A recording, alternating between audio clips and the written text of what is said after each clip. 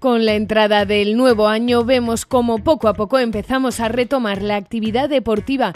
Este fin de semana estará marcado por el clásico y esperado Trail Zoquetes que arrancará el próximo domingo a las nueve y media de la mañana en Alcoriza.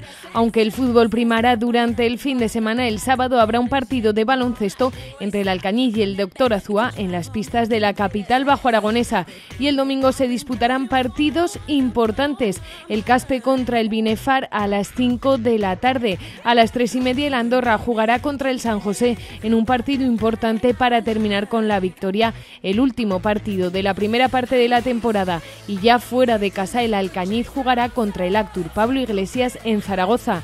También en categorías inferiores jugará el Valde Algorfa contra el Peñarroya, el Torrecilla contra el Chiprana, el Maella contra Samper de Calanda, el Quinto contra Calaceite, Calanda contra la Puebla de Ijar, Sástago contra el Corisa, Albalate el Arzobispo contra Mazaleón y el Sporting de Alcañiz contra el Teruel Atlético.